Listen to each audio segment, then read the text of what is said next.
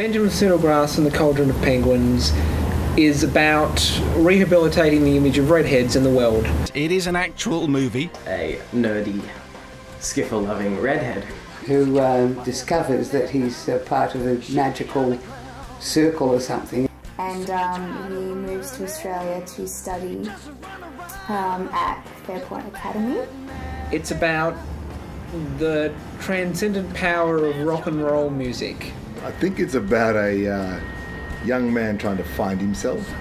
It's about Ken Russell references, it's about James Bond references, it's about jokes, it's about Stephen Fry. Well, it's a classic story, isn't it? It's about a uh, young man trying to find his place in the world of, you know, fighting all sorts of odds to, uh, you know, to find out what his life's all about. It's about a nerdy boy. He discovers that the reason he doesn't fit in is because he's really a magical boy with a magical father and a magical heritage he didn't know about.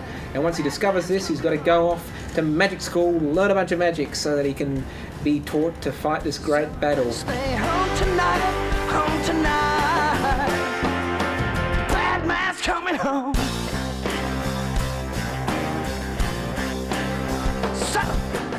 Uh, and do you want to? Do we need to reprise the uh, Benjamin Snodgrass story? Do you think people have remembered that? It'd be worth recapping. Well, Wittertainment, the BBC's flagship film program, Dr. Mark Kermode and Simon Mayo. Uh, cast your minds back, please, to last February. Mark's review of the Chris Columbus film Percy Jackson and the Lightning Thief. There's a key difference between this and Harry Potter. Do you know what it is? The name? Well, Percy Jackson is quite like Harry Potter. Percy Jackson, Harry Potter. I mean, they could have called him Benjamin Sniddlegrass just to make sure that it wasn't Benjamin Benjamin Snodgrass and the Sniddlegrass. Cauldron of The Cauldron of Penguins. Penguins is That the works film for I want to see. Uh, right, the man who's faulted all this is Jeremy Dylan. He's in a studio in Sydney. What on earth have you done? Well, that's an excellent question. Um, well, I heard the Good Doctor's review of Percy Jackson and the Lightning Thief back on February 12th last year, and as soon as that title came along, I was inspired. I mean, that's a great title. That's up there with Surf Nazis Must Die or Nymphoid Barbarian from Dinosaur Hell was one of the great titles, and it inspired me. I did a poster, I did some sort of comedy press releases, put this stuff up on the internet, and then some people sent it into your show, and I was faced with a rather surreal experience of you reading it out on air. And um, this deluge of fan mail, mainly from Finland and the Netherlands, started to come into me, encouraging me to make the film. I asked you for advice, and you two told me to go ahead and do it. So, in a really, very real sense, it's actually all your fault. Fair enough. I kind of had to come up with a storyline that fit, that was at least semi coherent, and sort of fit the structure of that first Harry Potter um, novel and film. Because the whole gag is that Percy Jackson and the Lightning Thief is incredibly derivative of Harry Potter. So, having not seen Percy Jackson and the Lightning Thief, our parody of Percy Jackson and the Lightning Thief also had to be incredibly derivative of Harry Potter.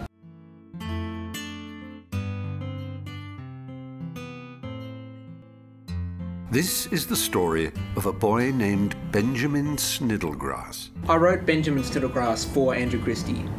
If he'd turned me down, this film wouldn't exist. I wouldn't have made it without him. Um, Jeremy sent me an email and he said that he had me in mind for the role of Benjamin Sniddlegrass, which was the lead character, and he said, um, you know, it would be filmed over a certain period of time and if I was willing to help him make some magic, so I said yes. Andrew was a good choice for playing Benjamin Sniddlegrass because, well, he had red hair, which that helped.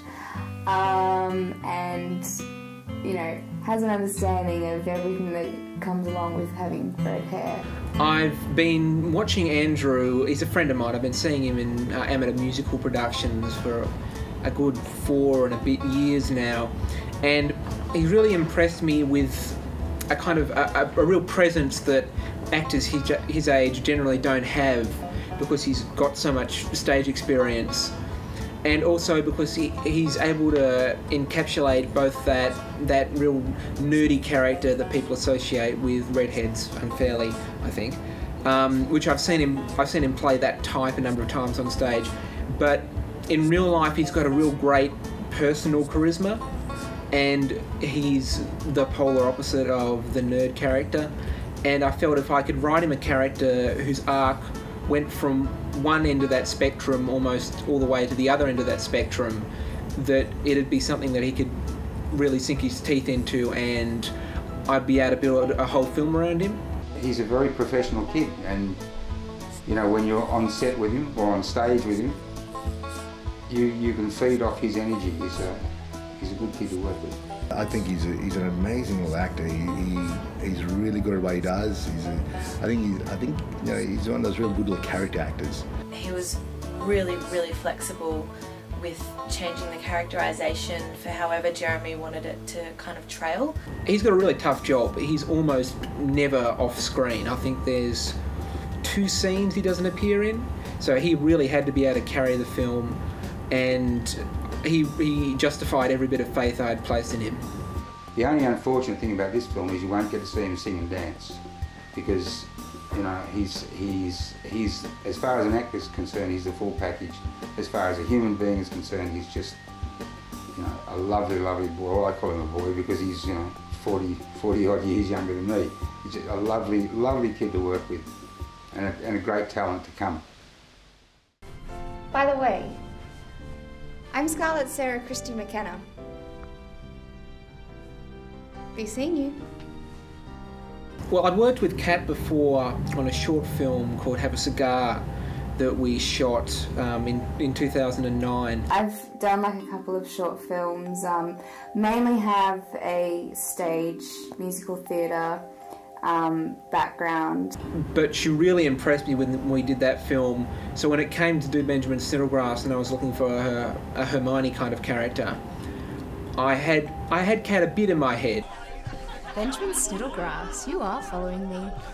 Scarlett sort of fulfills the plot requirements of Hermione, but her character's more in line of what uh, you'd call a manic pixie dream girl, which is a term Nathan Rabin came up with. And that's like Katharine Hepburn and Bringing Up Baby, it's that kind of character. And the more modern incarnations of that is like Zooey Deschanel, she often plays those kind of figures. She has guts, like, do you know what I mean? Like, she's, I liked that she was sort of, she took Benjamin under her wing, but you know, was just you know a little bit odd. She's a couple of years older too, a bit more mature, a little bit eccentric. She ends up saving him at the beginning, and then he ends up saving her at the end. Working with Kat was a joy. she has this very bubbly personality, which, um, you know, you can obviously tell from her performance and it's great because she's always laughing and there were moments where she could she couldn't stop laughing and in fact it was just perfect for her character. Kat's got kind of a Diana Rigg quality to her I think. Um, a, a, a, slightly bubbly but elegant and you always feel like she's a couple of steps ahead of you um, which is a which is a quality that really suited the character. Hello, my name is Werner Herzog. I will be your headmaster for the new year. Werner Herzog is one of modern cinema's great self-mythologizers. I've heard of Werner Herzog. I've actually seen uh, some of his uh, some of his docos. I'm not a great fan, I must admit, but uh, he's a very interesting person, and uh, I could see that. You know, given a given a few uh, twists and turns, his life could have actually turned out this way this eccentric Bavarian madman who drags ships over mountains and is constantly having people shooting at him or diving through his kitchen window or trying to shoot him during meetings. I'm here at the Fairport Academy on an exchange program from the Werner Herzog Rogue Film School of Germany. I wanted to have a Dumbledore character who was who represented the insanity of this world.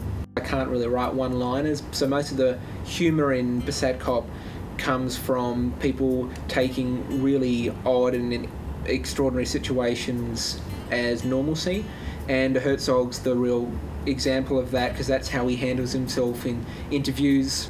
A lot of the dialogue, a lot of Herzog's dialogue in the film is is paraphrased from interviews, or it's some, like some of it's even verbatim.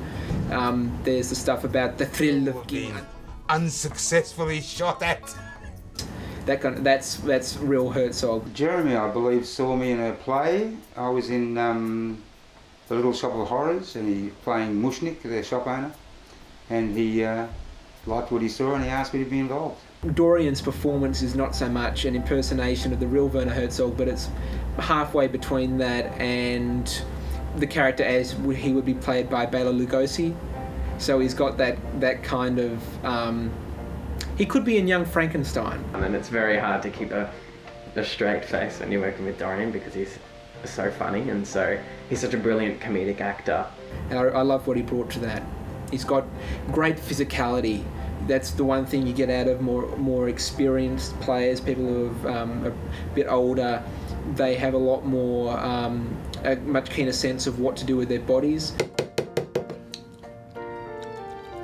So there's there's little physical bits that Dorian does in a lot of his scenes that that get laughs that weren't in the script, and that's just that was great.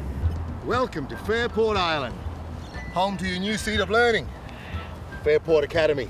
Pentangle is kind of a cross between Hagrid, Morpheus from The Matrix, and Johnny Cash. I don't like this, Ben. But I won't stop you. Like a strong masculine presence, because the film doesn't really have any of those.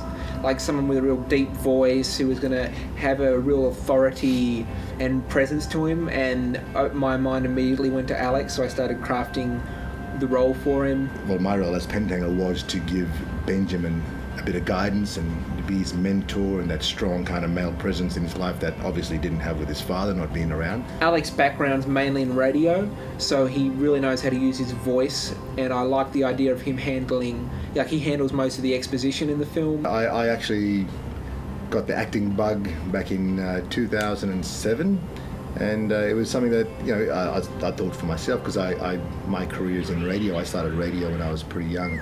Alex and Andrew built up a real warm relationship on set, which was great and mirrored the relationship the characters were meant to have.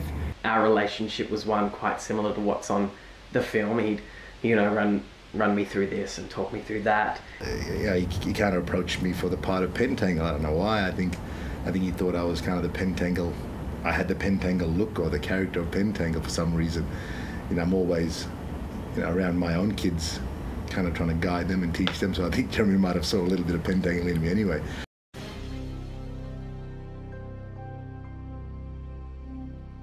When the scene starts, this is the stage. That's the the floor of the room. You're you've, you called to come over, and you're going. Okay, then we'll have the things here, we'll put the microphone here, and maybe just thing here. So you're planning this all out. So, so we start there and work our way up to pro proper concerts with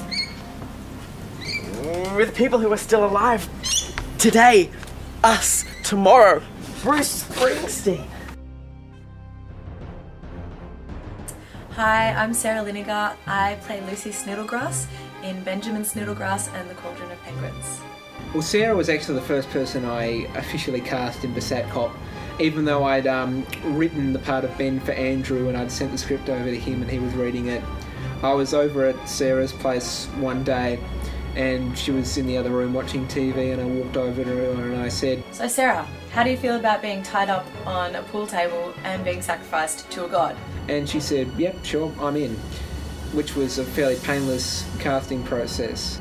I got involved in the project uh, when I got contacted by uh, an old colleague of mine, Oscar Partridge, uh, who said there was a movie happening, and he told me the story. He got got me the contacts. He explained a little bit about the project, and um, so I immediately contacted Jeremy. And immediately, um, Yavor was really enthusiastic about the project, asking all the right questions, and his, the level of preparation that he was going into for that first shoot really um, reassured me and made me feel really confident that it was going to be a good working relationship. He had thought everything out. He knew what he wanted. Okay, here we are. We're in the car. We're on the way to the first day of shooting for Benjamin Sniddlegrass and the Cauldron of Penguins. We're shooting in Oxford Street, which is Sydney's uh, noted gay bookshop district. Uh, there soon. We are currently in the Exchange Hotel, otherwise known as Cuba, and we are currently about to film the Dreamscape of Benjamin Sniddlegrass. It was kind of an eye opener for myself. So, you know, I'm, I'm this little fellow from out in the outback where you don't get to kind of see, I suppose, the colour of a place like Oxford Street in Sydney. But um, the first day of shooting. So on a Sunday in the Exchange Hotel on Oxford Street. And I'd been to a gig there uh, uh, a month or two earlier when I was sort of in the middle of trying to figure out where we are going to shoot all the film. And I noticed that each room there was decorated completely differently and had a completely different design feel to it, and they almost looked like they were from different buildings. Andrew also had the challenge of playing two characters. He was Benjamin, and he was also Percy, his father, for the early um, the prologue and for the flashback. When we shot that Percy scene at the start of the day, he had the moustache and he got to put the cool suit on, and got to be uh, James Bond for a bit. Darling. Darling. On the first day of filming, I was introduced to who would be playing my wife in the film. Uh, this was actually the first time I met Sarah, and we, you know, had a kiss to do, and and we had to sort of have this chemistry on screen, which we hadn't actually had before, since this was the first time I met her. But he was so, such a gentleman, so calm, easy to work with, great to work with. He was so professional. It was pretty hectic because um, the venue was really hard to acquire, so we had a lot to shoot on that day. Um, and pretty much everything had to be like jump in, jump out, jump in, jump out. The first day, um, I like, ridiculously overscheduled everything. I was I was hoping we were going to shoot about the film in one day, and we ran over schedule, and we ended up having to dump a bit of stuff we were filming, and that was a, a real lesson on how to budget your time in um, in shoots. I, I, I was I was exasperating Yvonne. I could tell. Like, why isn't the lighting done? We need it. We've only got 20 minutes left in this setup, and we need to move on. And um, I ended up getting great stuff on that day, but it was a it was a real learning curve going into my first um, really big extensive shoot on that day.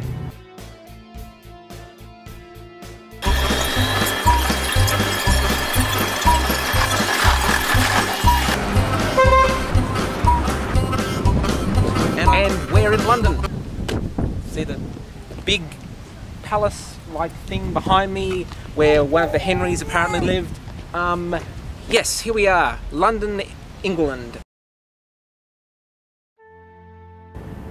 Stephen Fry. Um, I, I, I still cannot quite fathom the idea that Stephen Fry is in my film. At first, she made him sleep in the ironing cupboard.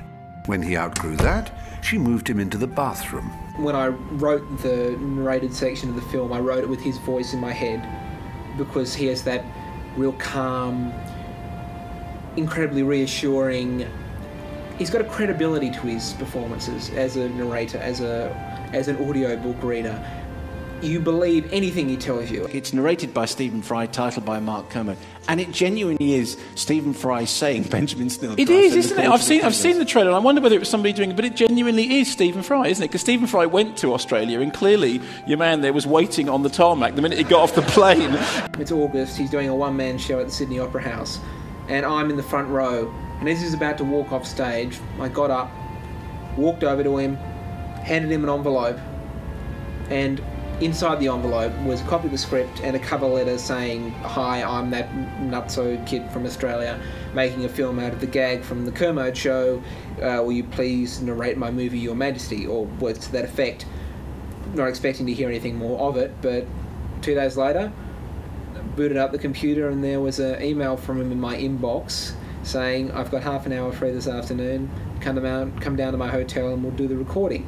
Whenever you're ready. Okay. This is the story of a boy named Benjamin Sniddlegrass. Of course, he was perfect on the first take. Everything I could have possibly wanted, exactly how I'd imagined it when I wrote it, down to every individual cadence, every individual inflection. And he couldn't have been lovelier to me. I mean, they tell you not to meet your heroes because they might let you down, but Stephen Fry was every bit Stephen Fry that I would ever want him to be. Benjamin Sniddlegrass and the Cauldron of Penguins by Jeremy Dyson. Dylan. The Dylan! Sorry, Jeremy Dyson's in the League of Gentlemen, isn't it? Do you know that? Yes, TV yes. series. Uh, Mark Gatiss and Yeah, that's right. And Steve Pemberton. There's a Jeremy Dyson in there. I think there's. Sorry, Jeremy Dylan. It's I'm a terrible. flattering mix-up. Rolling.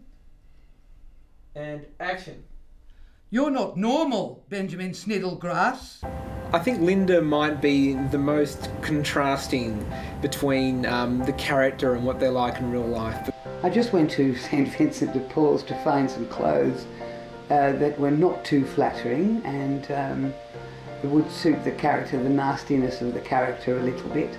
There were quite, for the short part I had, there were quite a few costume changes. So um, I had to find some bits and pieces, quite cheap. and uh, so that's what I did. She's like a second mother to me, so her playing my aunt was was quite humorous because she had to swear at me. She was great. She came in, um, we shot all that stuff at my place, and we got through those scenes really quickly um, because she, she, was so um, engaged with it. For the uh, Fairport Academy dorm scenes, we shot in a hotel. Now the hotel shoot was quite interesting because uh, I, I, actually rang Jeremy because I, I, do a little bit of boxing on the side. It's it's kind of something I love doing. Um, I was actually the weekend before the shoot at the hotel. I was I was in the New South Wales State Championships and I had to fight. Now when you're amateur boxing, you have to actually shave your moustache and beard. It's part part of part of the rules in amateur boxing. You have to shave. So I rang. I actually rang Jeremy and I said, uh, "Oh mate, look, I got a bit of an issue." Um, and I said, "Well, I was thinking maybe you know Pentangle could do a magical trick or something." And all of a sudden, you know, the beard's gone and the mo's gone and stuff. And he's like, "Okay, we'll try that." Action.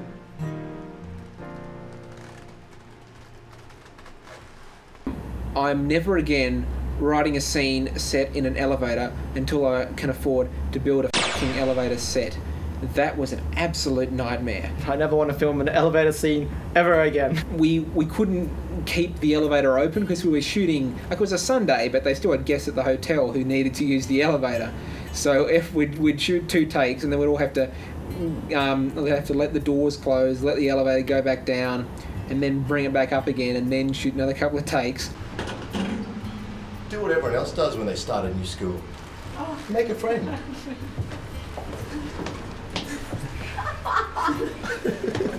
no, I'm not talking to her. You called. We're just oh, shooting oh. Sorry. We'll take it out.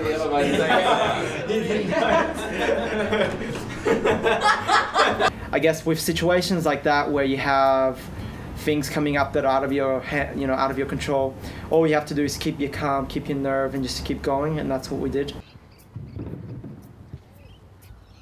hello i'm jeremy dylan director of benjamin sniddlegrass from the cauldron of penguins and we're here at epping boys high school for day three of filming. You know what?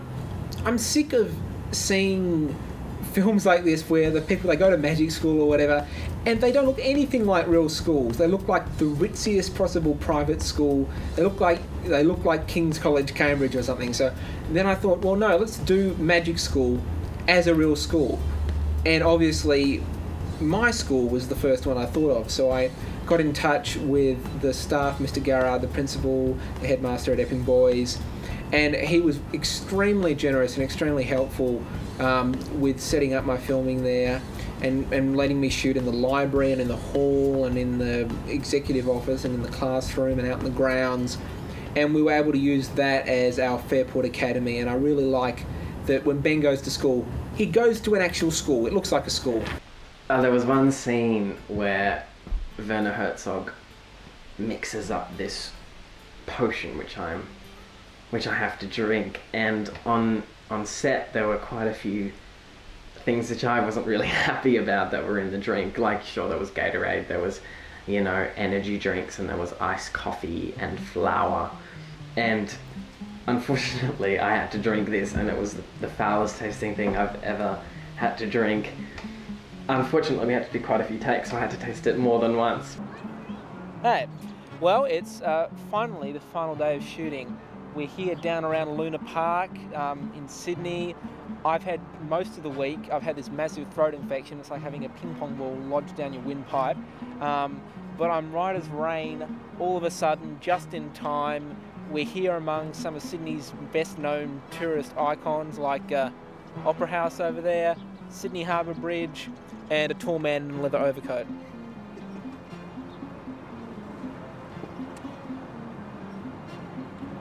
yeah, so final day of shooting. It's been a bit of a long road. It's October 17th today, and our first day of shooting was um, the 6th of June.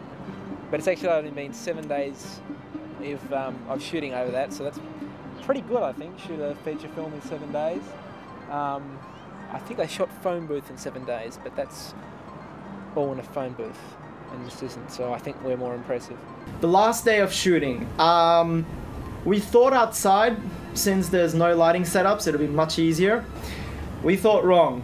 For all you, you know, cinema goers, be careful. Outside is a whole new ball game. The real challenging thing with our last day of shooting was we were shooting on a train without a permit, so we had to get on. We had three stops before we got to uh, Central, and we wanted to get off. So we had to scramble on, quickly, wildly unpack all the gear, set up, go, action. One take, two takes, another half a take. Oh, we're okay. We're coming up to a stop. Okay, cut. Pack the gear up. Hope we got it. With better clothes and more banjo playing. So I'm supposed to believe that the reason why I don't get on with people is because I'm actually a magical boy with magical powers. That's guerrilla filmmaking. That's the Werner Herzog approach. I was quite proud we pulled that off.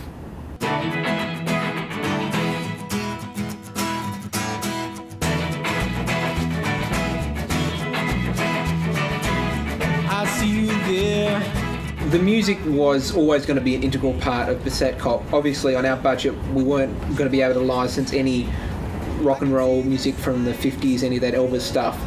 So that forced me to come up with an original rock star. And I thought instantly, he's got to be a redhead. And that's how Ben's going to have this hero worship thing for him.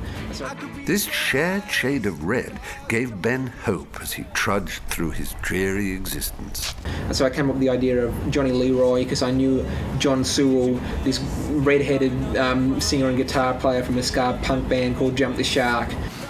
Hello, my name is John Sewell, and I'm Johnny Leroy, and these are my impulsives. Hey, I'm Riley Marr. I'm playing Rod Roger Moore. Hey, I'm Pino Pistorius. I'm playing bass. Headed into the recording studio and cut a few uh, skiffle songs, sort of a slightly Dodge Brothers-ish, early Elvis, Buddy Holly, that kind of thing for the soundtrack. I wanted to reference these great mythic images of teenagers in the late 50s, early 60s, like you know, like Keith Richards talks about, um, listening to Radio Luxembourg with one ear up against the stereo, listening to Chuck Berry records and Buddy Holly records coming in from the states that they wouldn't play on the BBC. Well, Jeremy called me up and um, asked me if I had any sort of skiffle slash rockabilly songs that we could use for the movie, and um, uh, I had one that was sort of half finished that I'd been writing with Jason Bone, and um, we uh, got the call from Jeremy, and I sat down and we finished the thing in that night, and I sent it to him at about 2.30 in the morning, and there it was, Judgment Day. So loud, get my favorite ride. Really ice cream killer. I've been tough, but I have a lot of fun. I Yes. Yeah, well, I've been lost and I've been double crossed. Got nothing left to confess. If I meant you when I'm on my judgment day. Well, I keep waiting, waiting,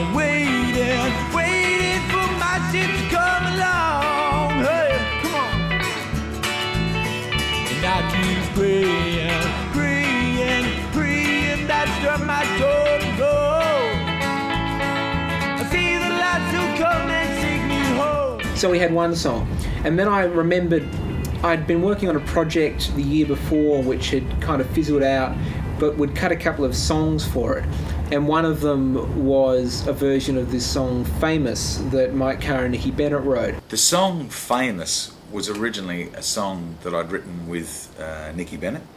Um, fabulous performer, I can say that because I'm married to her. But we wrote that probably five, six years ago, and it originally was like a real grungy kind of rock song. So this is kind of what it sounded like when we first heard it. I see you there.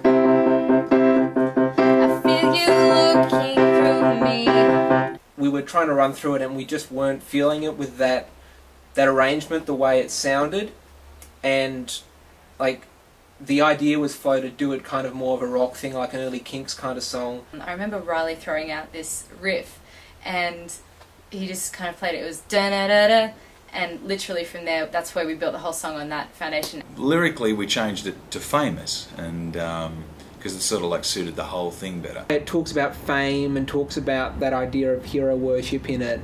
It really lends itself to the thematic importance of Johnny Leroy. Anyway, that song lay there dormant for probably 12 months until it came back as a skiffle song by Johnny Leroy. So, I mean, that song's had many lives, and um, and I'm proud to say that it's through the movie quite a fair bit, and it's always been a favourite song. And I was always wondering where that song was going to be used one day, and I'm glad to say that it's been used a lot.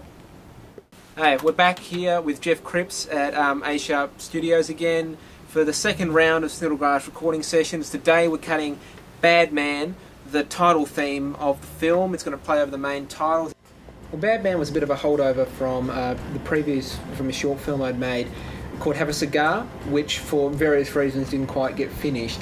But we'd cut a blues rock version of this great song Bad Man that Rob Draper, a singer-songwriter from Melbourne who I'm friends with, so I ended up using that over the end titles of Passat Cop.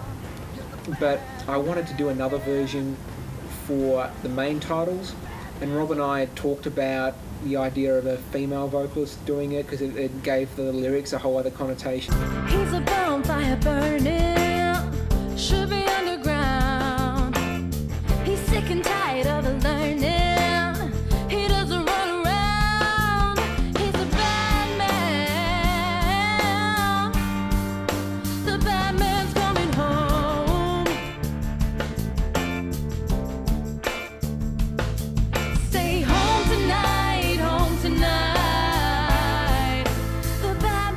I've always wanted to work with Nassim. I think she's got a great soul kind of voice. Um, so I, I got her, I put this great band together, great players that I've been wanting to work with for a while, and Riley and Tim, who are also on the Johnny Leroy and the Impulsive sessions. Hi there, we're in the Brain Studios in Surry Hills doing overdubs for the soundtrack song Bad Man. Decided to remix the track, do a bit more guitar work on it. Well, at the moment I'm playing a Fender Esquire guitar, and it's very nice. I've got a different pickup in there. And I use a tone bender, Sola Sound copy tone bender, which gives the fuzz sound. It's a big part of my sound. And I use a echo pedal, which is a Danelectro thing. We had the track and it sounded good, but I just felt like it could be a bit more debauched.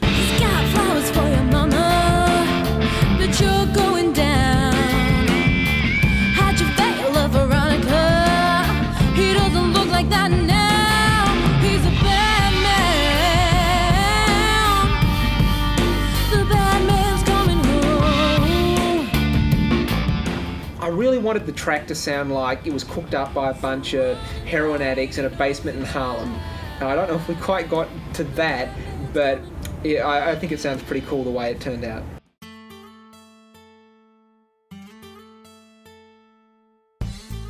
I've known Mike Carr for donkey's years, and I've always wanted to do something with him.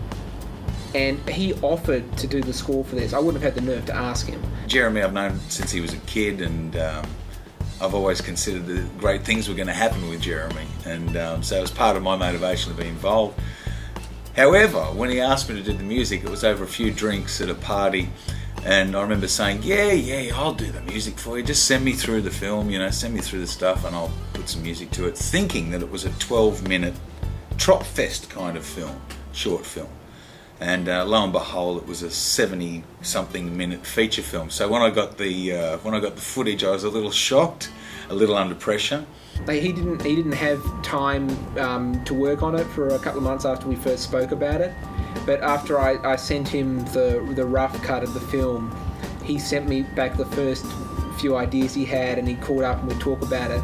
And then we he didn't really do anything more for a, another month because he had was working on some other projects. And then over Christmas, he, he, he started calling me up during the day and we'd talk about so the um, the scene with Aunt, Aunt David. What are you feeling for that? And I'd say, oh yeah, I want this like kind of finger picked acoustic stuff for that. And he said, okay, well like melancholy, yeah, sort of. And then okay, what about the flashback scene? That's more bombastic, more of like a, a, a Danny Elfman kind of thing, more Wagnerian. And um, and then I'd wake up the next morning and there's been emails from it to like two or three in the morning. He'd gone into his studio and whipped up all these these um, great score elements and sent them through. Well, having received these discs from Jeremy, I um, proceeded to do this. The first time I'd done anything like this in my life.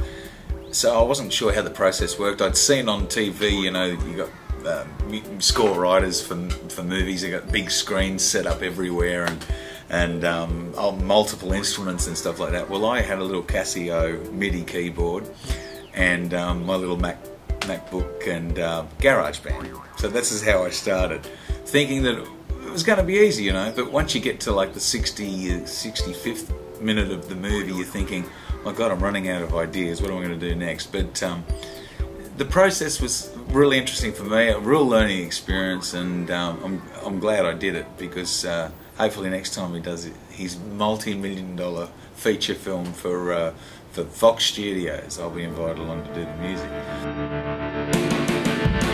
The animation was something that we really decided to put more of in after the fact. Originally, it was just going to be the main title sequence, and then um, Yvonne and I were talking. We came up with the idea of having these animated chapter headings as well. I became involved. Um, with the the project um, very late in the piece. I think the film was already shot by then for uh, after quite a while, and um, yeah, I think it was around December. Um, the cinematographer um, Yvonne Dimitrov he he um, sent my film I did uh, last year, uh, an animated film I did.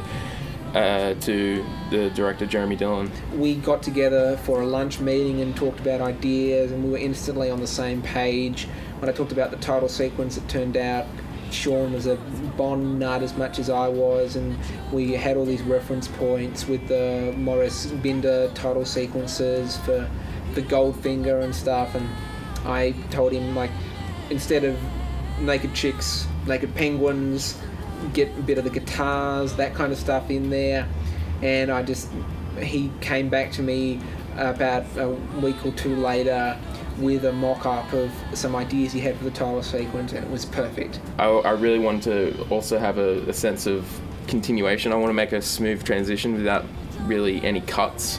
So that's why I'd have like the penguin move across into a hill and like then the hill turning into a guitar into a guitar and then the guitar turning into a penguin gun or something like that. I, I, I just really like the to um, just have that flow, and that, that's just the way that the Bond titles I felt work. They always have this kind of smooth movement to them.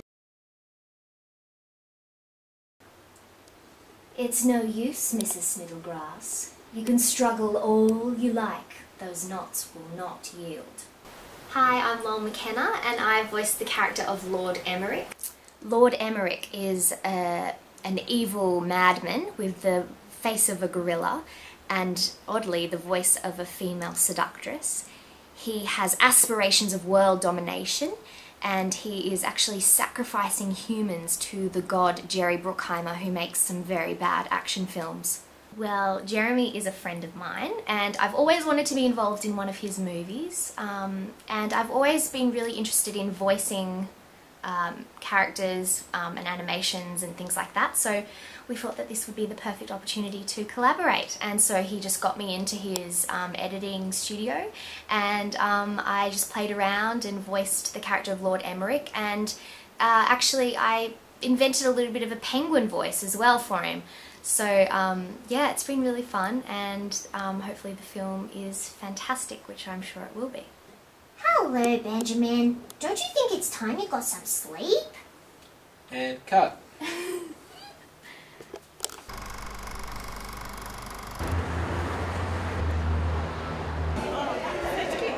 Jeremy, how are you feeling? Well, my hands are shaking, my knees are weak, and I can't seem to stand on my own two feet.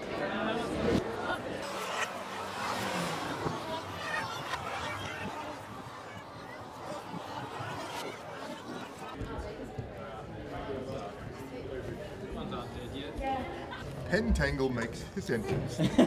this is mini Pentangle. If we just take the hat and put the hat over it. I'm in this film. Um, to be honest, I'm very nervous. I uh, don't know how it's going to turn out, so it's all there's a big buzz, and I am tingling, and I just don't know what's going to happen. So I'm very, very excited.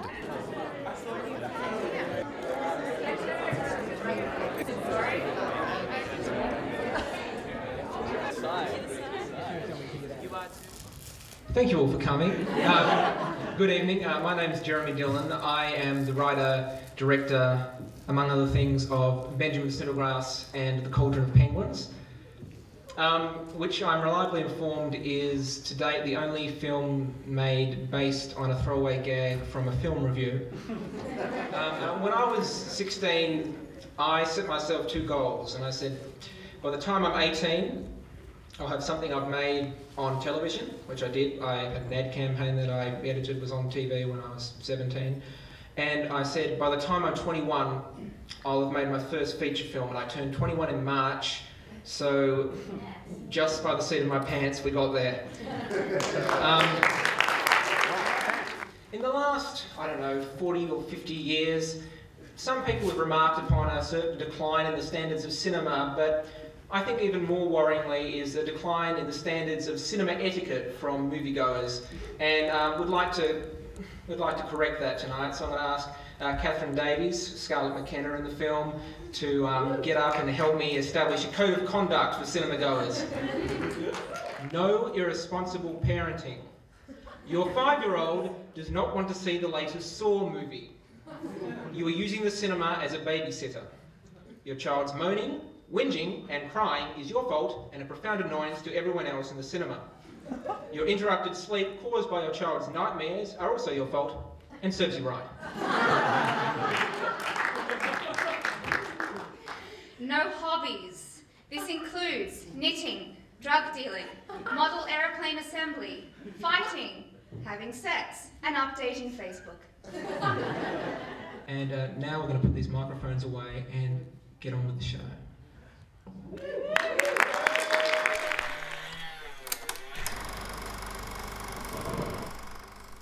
I really appreciate all you guys coming out. I hope you enjoyed the film.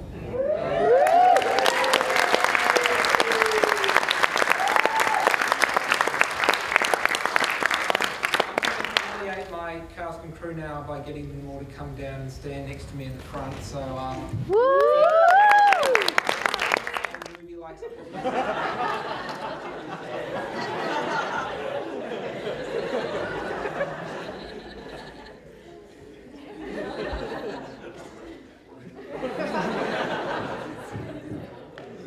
All right, guys. Well, that was that was Benjamin Sniddlegrass and a Cauldron of Penguins. So, what are your afterthoughts? Afterthoughts. Fire away. Oh, um, well, I, I I only found out there's an after party just then, and I, I wasn't invited. I did, I did all the, the animations two months, and I was not invited, invited so I, I have a bad taste in my mouth. You? Bad taste in my mouth. Well, my my only uh, after comment is Sniddle-tastic. I don't know. We just had a conversation about how everybody wants a slice of ginger flesh. Yeah. So I'm a little put off. A barbecue, moment, a barbecue of ginger flesh. My final comment. Him and the barbecue. Be still, and you'll get your slice of ginger flesh. You know, it's funny. Sitting there watching the credits roll at the end of the film at the Dendy, I felt like it should feel more final. Like it's a year of work, Uh, a year of extremely hard and punishing work, and now we're here and the film's done. But it felt more like the start of something than the end of something. Yeah, well, I've been waiting, waiting, waiting for my ship to come along. Hey, mom, come on. And I keep praying, praying, praying turn to. It all, then I took a fall. Ain't even got my shirt. Lord, it hit me hard when I hit the dirt.